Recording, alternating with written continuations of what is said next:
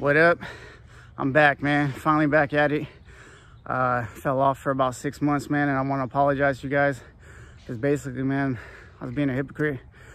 I enlisted those videos because uh, I just wasn't following my own advice, wasn't taking my own advice, man. And I fell off and I felt ashamed, guilty as hell, basically just being a little bitch. And uh, it took a lot for me to try to get back to it, man. And uh, honestly, I wasn't even gonna try to get back at it because I just felt ashamed, felt like a hypocrite. But uh, right now I'm currently 30 days in, I'm 14 pounds down, just hit a four mile run.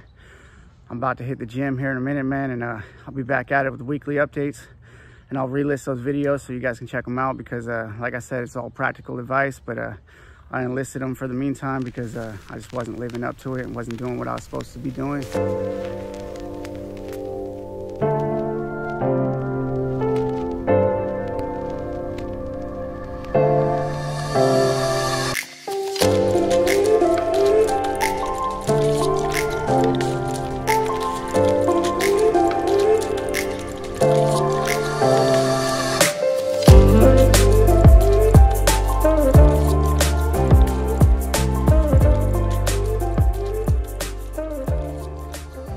So we just finished up the pool day at the gym. Got a couple quick little clips in there.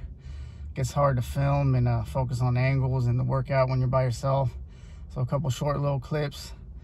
And uh, I'm about to go home, drink a protein shake, eat a peanut butter sandwich. Probably go to class here in a little bit, man, and in the video there. I just wanted to hop on here, quick little video, get things rolling. I apologize for falling off, man, but we're back at it, 30 days in, man. Let's keep going.